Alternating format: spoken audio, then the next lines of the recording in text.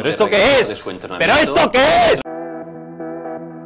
Este es el fuego de colores. No lo sé, Rick, parece falso. El color es debido a la radiación electromagnética, emitida en forma de luz, el mismo que va a depender de la longitud de la onda para que el compuesto tome un color u otro. Solo entendí que tu papá te abandonó. Es importante saber que cada compuesto químico cuenta con su propio patrón de ondas, por eso cuando uno enciende el recipiente, la temperatura se eleva y estas ondas se ven alteradas. Por lo tanto, el fuego comienza a tomar un color u otro. ¡Ay, qué bonito! Huele quemado. Y no te olvides de suscribirte o seguirme para más datos que no te servirán para nada en tu vida, pero aún así quieres escuchar.